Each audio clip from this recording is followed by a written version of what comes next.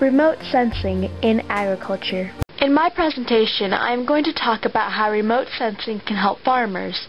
First, let me explain what is remote sensing. It is a technology of acquiring information about the Earth's surface without actually being in contact with it.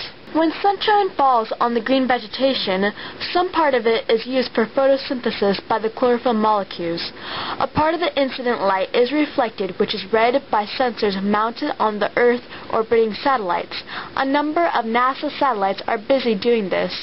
The information can be downloaded and interpreted to see if a vegetation or biomass is healthy or under stress due to drought, flood, insect infestations, disease, or any other reason. NDVI and EVI are some of the vegetation indices that provide information of the vegetation health.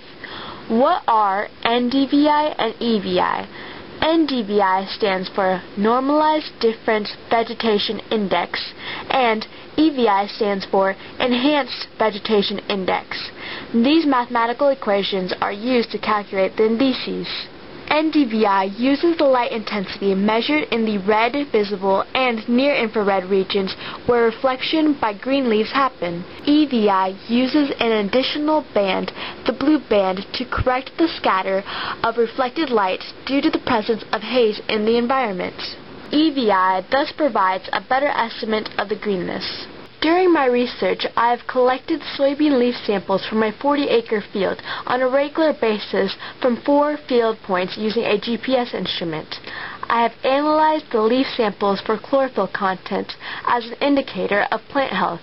I also collected NDVI, EVI, and soil nutrient data. I measured plant height and soil moisture content of those field points during the same visit. I plotted these data on the graphs to see the patterns. At the end of the season, when harvest was completed, I obtained the harvest yield monitor data from the farm manager for the same field points. Let me now discuss the results. In my earlier research on a separate field, I found a strong correlation between the NDVI and ground data as shown in this plot. The blue line represents the NDVI index of greenness, and the green line represents chlorophyll concentration measured by a spectrophotometer, which is a ground instrument. Though the units are of different scales, the pattern shows a high concentration of greenness by both scales showing vigorous vegetation growth till mid-season when the bean pods are maturing. The loss of greenness at the end of the growing season indicates the start of senescence for this crop. This graph shows the summary of the study. A number of parameters are plotted to compare the results found in the four different field points noted as points A, C, D, and F. On walking through the field, it was found points A and C were more wet than points D and F. The moisture fluctuation bars are higher at point A and C. Magnesium and calcium contents in the soil analysis show higher concentration at point D. Magnesium is a part of chlorophyll. And this translates in high photosynthesis rate and more green in the spectrophotometric and the handheld chlorophyll content index meter. This also translates to higher bushel yield per acre at that point. The pH bars showed that point D also had an optimum pH value for soybean growth near 7.0.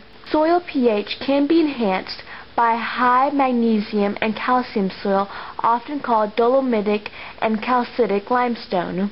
The NDVI and EVI values are also high at points D and F, which also agree with the spectrophotometric data pattern. It is at this stage that I found the strong correlation between the different parameters and the satellite data. In conclusion, my research indicates the importance of remote sensing meaning use of the satellite data to assess the crop health. Crops' health or stress can be evaluated from these data without the arduous ground sample analysis. NASA satellites collect data every day. This means farmers can monitor crop health as frequently as two weeks and take action to address any problem when it happens without delay. Remote sensing can also cut the cost of chemical applications at the unneeded points of the field. The remote sensing method is cheaper, thus can help farmers reduce costs and environmental impact. It can also cut down the cost of scouting for evaluation of field conditions. This is where GIS GPS takes tomorrow's agriculture to a higher level.